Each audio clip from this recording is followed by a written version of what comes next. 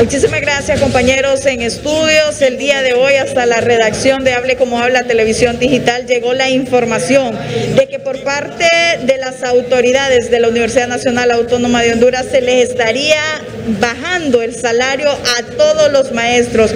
Un 30% se les estaría bajando el salario. ¿Esto es cierto? ¿Cómo reacciona el sindicato de la UNA? Buenos días, sí.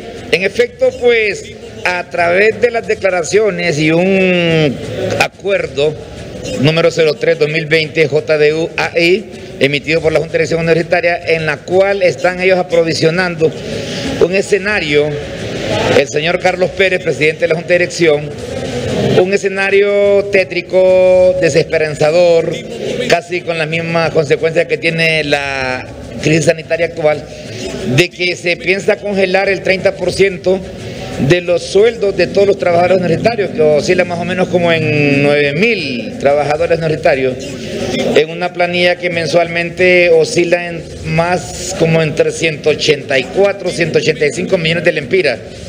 Si eso lo multiplicamos por 14 y luego por 9 mil, encontraremos que andamos eh, en cifras aproximadas cercanas al a mil millones de lempiras. Nosotros nos llama la atención qué quiere ser el Estado de Honduras con esos mil millones de Honduras, cuando la misma Constitución de la República establece que el Estado debe contribuir con una asignación no menor al 6% del presupuesto general de la República. Es algo que fue aprobado en el Congreso y que es ley y que el Poder Ejecutivo no tiene facultades para derogar esos decretos legislativos.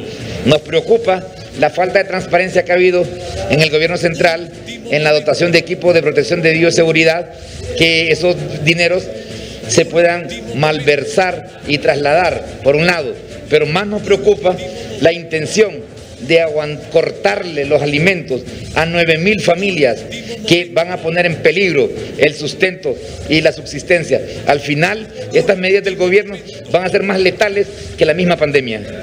En la Constitución ya se designa que el 6% de todo lo que percibe el Estado de Honduras es asignado a la Universidad Nacional Autónoma de Honduras.